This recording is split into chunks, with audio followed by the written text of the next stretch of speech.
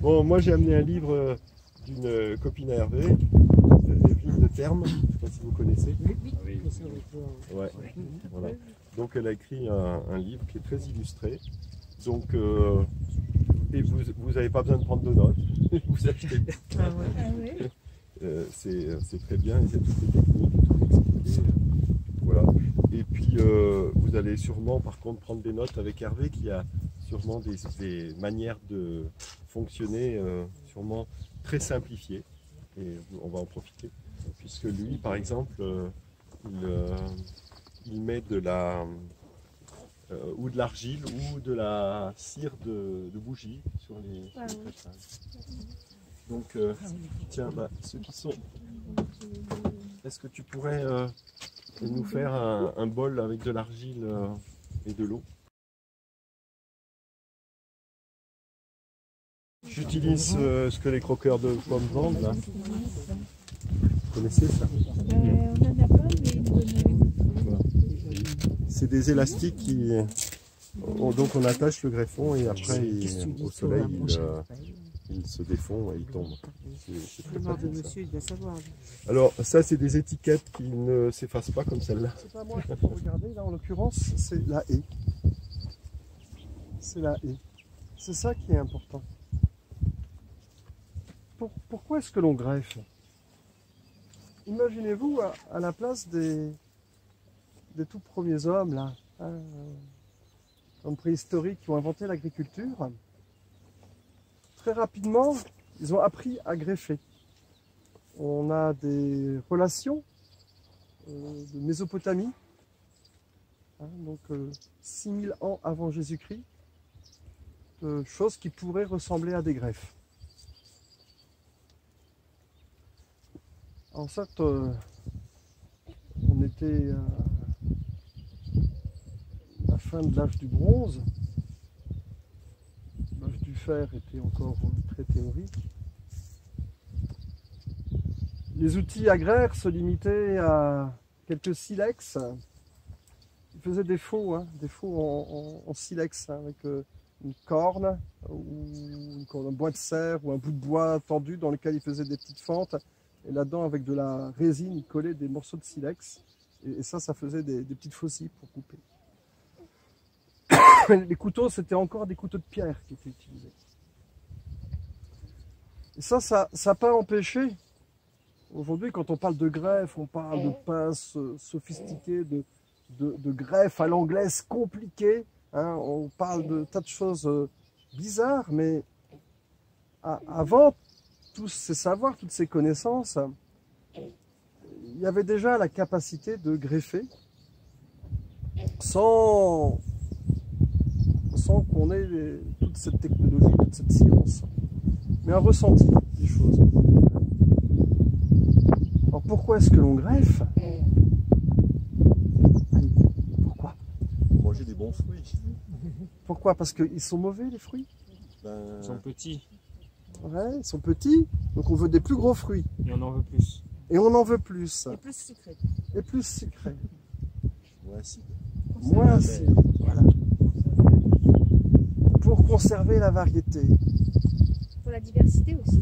et avoir de la diversité, ouais, bien sûr. Excellent. Allez, encore. Mais parce que les, les graines de certains arbres ne donnent pas forcément la même chose que quand on les ressème. Exactement.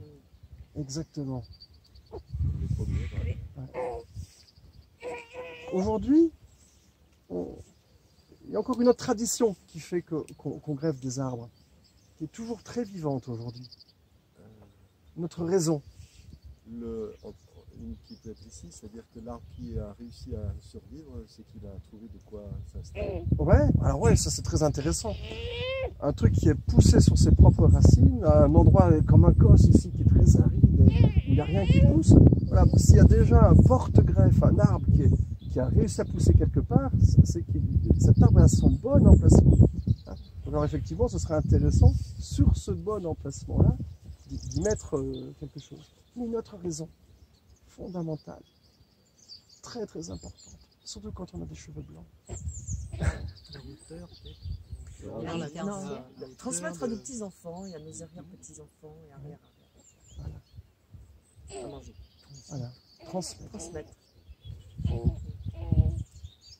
Euh, Il y a une petite enquête qui a été menée à, à- à Chasteau hein, euh, par l'école avec les, les instituteurs, l'association des, des amis de la Couze, hein, euh, donc tous les petits, tout troisième âge, hein, de, de- et puis les enfants, hein, parce qu'il y a une nouvelle école qui s'est installée, et puis avec l'idée de, de faire peut-être un verger. Le projet du verger n'est pas encore né, mais par contre la consultation avec les anciens a déjà eu lieu. Et on se rend compte que tout le monde, tous les anciens, ont eux-mêmes hérité de pommiers, de poiriers, de pêchers, de pruniers, de leurs ancêtres. Des cadeaux qui ont été faits. Pour la naissance, quelquefois. La grand-mère, à qui le parrain avait greffé dans un jardin un pommier pour, lors de sa naissance.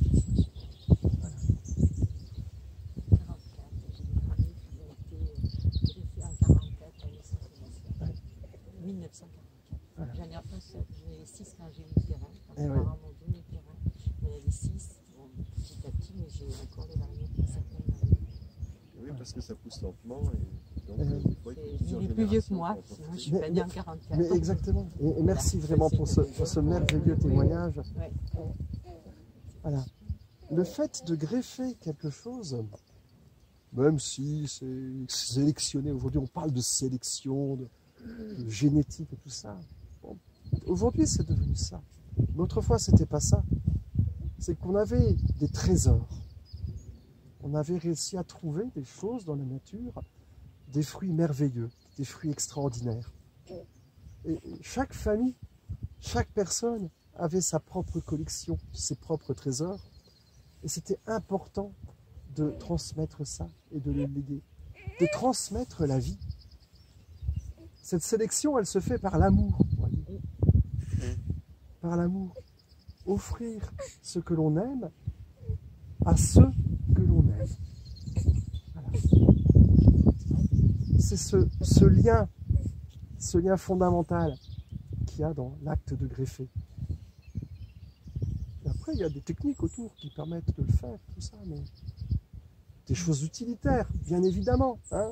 Euh, si c'est bon, on préfère. Si c'est productif, si c'est pas acide, si c'est sucré, si ça fait du bon cidre, si ça fait de belles confitures, de superbes tartes. Bien sûr, tout ça, c'est important. Mais ce qui est important, c'est que dans ce rameau-là, parce qu'il y a le nom dessus. En principe, hein, Ce que êtes en train de faire, celui je pas lui. Voilà. Celui de Karina qui est excellent.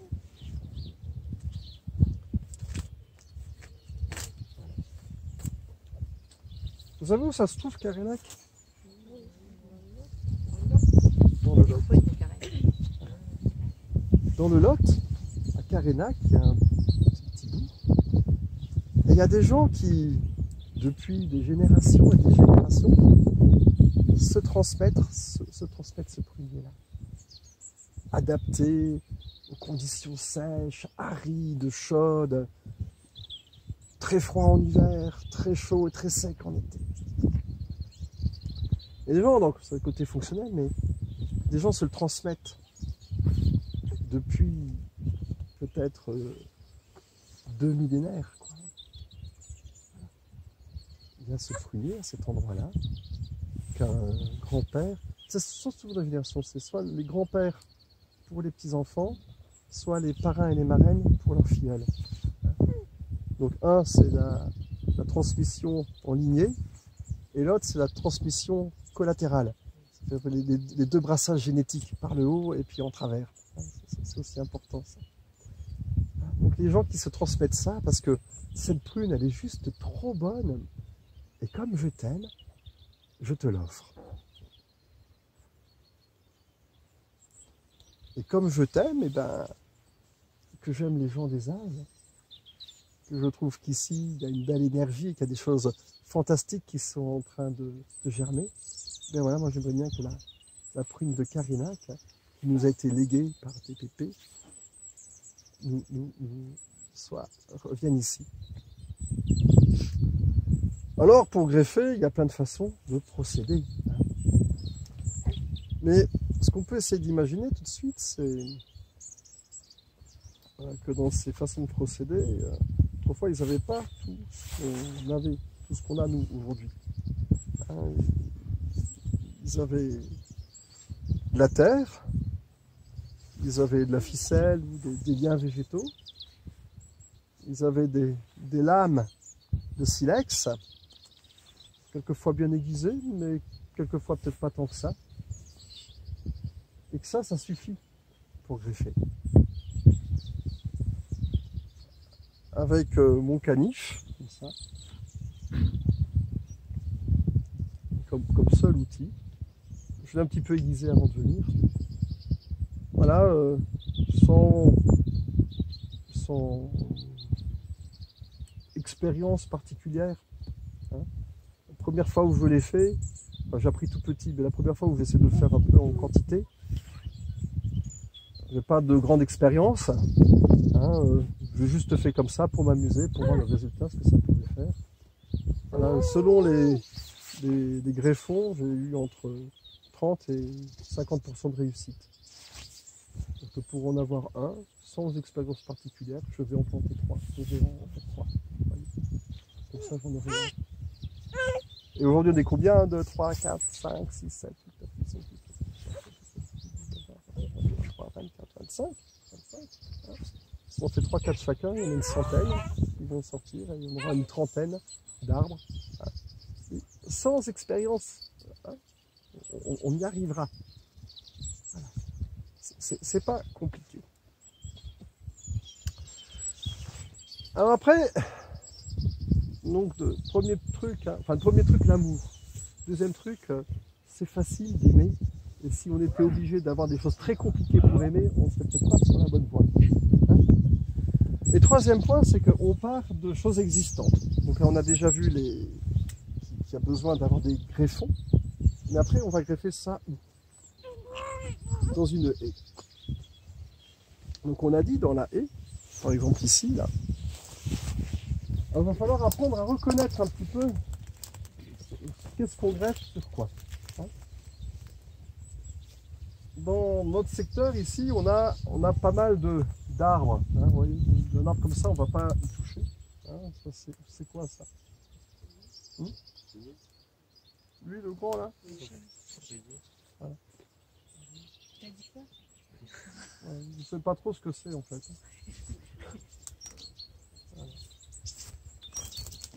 On va, s'intéresser plutôt aux petites, euh, aux petites merdouilles. Et ça, on est déjà dans la taille maximum de ce qu'on va essayer de repérer, un peu dans les aux alentours. un. Si jamais un jour on- a une variété qu'on va absolument, qui risque de mourir et qu'on veut, eh ben on peut euh, utiliser une branche de noisetier pour garder en vie un, un rameau de noisetier. On, peut le faire, mais après, bien sûr, là, de ce rameau, il faudra en faire une, une bouture ou enfin le trouver à, l'hiver. Enfin, hein, c'est pour faire durer un petit peu en saison. Quelle la période idéale pour faire une greffe? Alors voilà, à la montée de sève, qui est déjà un petit peu de sève dans le porte-greffe. Par contre, en ait pas dans le greffon. Hein, ça, ça, c'est important. Donc souvent on coupe les greffons, on les récolte un petit peu plus tôt en hiver, on les garde au frais, hein, et dès que la sève commence à remonter, ben là on peut les remettre en connexion. Oui Ça veut dire quoi, on les garde au frais? Au frais, donc euh, dans, la, dans une cave, au nord de la maison, enfin un endroit... Mais, euh, à sec. Enfin, c'est-à-dire pas les pieds de pas. euh, Alors, si. Ah non, pas dans de l'eau, mais dans du sable, ça peut être. hein, euh. Ceux-là Voilà. ont été dans une cave en terre Ouais. qui, est, euh, Non, ils sont qui pas, alors. conserve très bien les pommes, il y a pas, de- elles ne pas. donc Voilà. C'est une cave euh, assez unique. Ah, non, Non, juste posé, non, comme ça, Comme, ça. Ouais. Sinon, il y en a d'autres qui les mettent dans du sable au nord. Voilà. Moi, je les mets au frigo à la maison. Moi, il y a beaucoup de trucs dans le frigo. Et alors, il y a des frigos, il y a des frigos qui, euh, qui ventilent et qui assèchent. Ouais. Alors, euh, le greffon, il, dans ces, ces frigos-là, ouais, il, faut, il faut les, bien les protéger parce que ça les dessèche. Ils ont été récoltés il y a combien de temps alors les... Ben, euh, alors les, les, les cerisiers euh, assez tôt parce qu'ils Mm. démarrent très tôt. C'est-à-dire en décembre, je les ai pris. Ouais. Et les autres, euh, ça doit être euh, fin janvier. Voilà. Ça fait plusieurs mois. Mais en fait, on peut, on peut même les prendre euh, dès, que les feuilles sont tombées. hein, Ah ouais, quand on passe quelque part, euh, ah ouais, t'as ce super truc, on peut prendre un quelques, porte, quelques greffons et puis les, les stocker jusqu'au printemps. On peut faire des greffes pendant tout l'hiver, en fait. hein, euh, ça, c'est pas, c'est pas un souci. Hein, pas... Et au niveau du greffon, euh, que ce soit euh, la prune. euh, Alors, on prend des rameaux, mais après, dedans, on va prendre que des tout petits bouts. hein. Voilà, donc, euh, quelquefois, même si on n'a qu'un tout petit bout de. alors, imaginons que, que ça. Voilà, si, si j'ai juste euh, un petit rameau comme ça, ben là j'ai déjà 1, 2, 3, 4, 5 bourgeons. Donc il m'en faut 2 par. euh, donc là je peux faire 2 deux, deux, deux, De, de, de greffes. deux greffes. Voilà. Euh, moi ça m'arrive aussi parce que pour, pour les, les- enfin, pour- quelquefois pour des arbres particuliers comme pour des chênes ou des choses comme ça, euh, de même arriver, à, on a des petites techniques particulières sous la loupe, de greffer juste un bourgeon à, à la place de notre bourgeon. hein. Voilà, c'est, ouais, sur du chêne. Voilà. Hein, euh, Tu le colles comment eh ben, on- juste par rapprochement, et puis après on, on prend une petite. euh, c'est, juste un petit tuyau de plastique qui, qui Ah, qui qu'on serre. fend en deux et qui, qui le tient contre, simplement. Voilà. Hein, et puis après, on, bien sûr qu'on les désinfecte parce que ça ne dure pas très longtemps. Mais il ne faut pas que le bourgeon soit aussi gonflé que ça non plus. hein. Ah, mais on peut même greffer un, faire de, de- de greffe d'un. Un bourgeon, en fait, on ne le greffe pas sur une branche, on le greffe sur un gland qui est en train de germer. Hein Donc on lui coupe la tête, on appelle du cocotile, et puis on pose juste le, bourgeon dessus. Quand on a vraiment un très précieux, où on n'a plus qu'un bourgeon, euh, eh on peut aussi garder ça. Le seul truc embêtant, c'est que c'est un bourgeon à fleurs qui sort. Ça fait une fleur et puis ça s'arrête. Voilà. Mm. Voilà.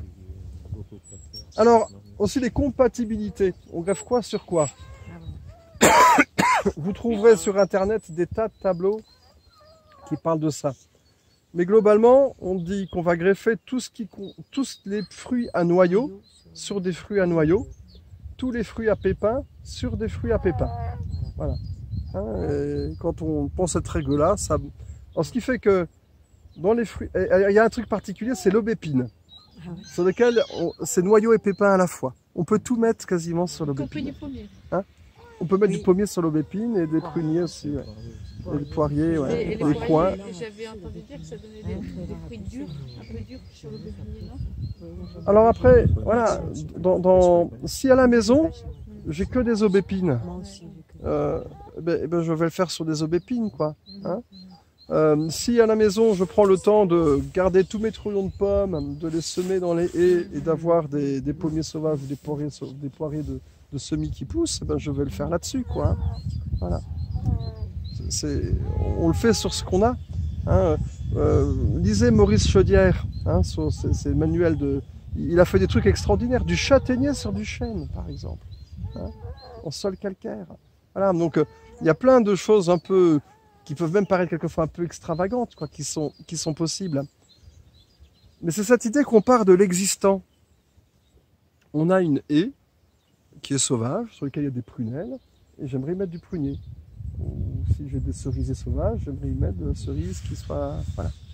On part de l'existant. hein, L'idée, c'est de, de rendre cet écosystème de plus en plus propice à- à- à ce que je suis moi. Et ce que je suis moi, c'est quoi? Donc, c'est mes goûts, mes envies, mes besoins. Mais c'est également ma famille, mon héritage, ce, ce qu'on lègue et, et ce que je veux léguer aussi au, au futur. Par Oui. rapport au greffage, si demain, je me dis, enfin demain c'est votre graine, votre mandel, vous savez tous, mais si après-demain, euh, je veux, euh, je me dis j'ai envie de faire de la greffe, ben, c'est trop tard parce que j'ai pas ramassé mes greffons l'année dernière ou je le fais quand même et- Alors après, on, on- ouais, on peut le faire. Bon, enfin, des greffes de secours, de, de survie, j'en fais toute l'année. Quand, euh, quelqu'un coupe un pommier et que ce pommier, euh, on se rend compte que c'était le truc, alors on va récupérer quelque chose et même au milieu de l'été, on peut, on peut le faire. Quoi.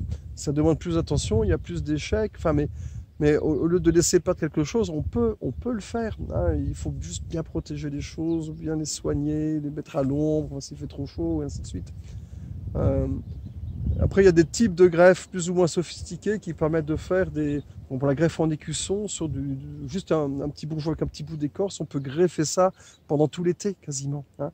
Euh, Ce qu'on va faire à cette saison, c'est des greffes, donc euh, rameau contre rameau. hein. donc euh, c'est plutôt des greffes qui conviennent pour l'hiver. Mais en fait, on peut trouver des méthodes de greffe euh, pour euh, toutes les saisons. euh. Et après, c'est surtout du bon sens et on adapte les moyens, que l'on a à ce que l'on peut.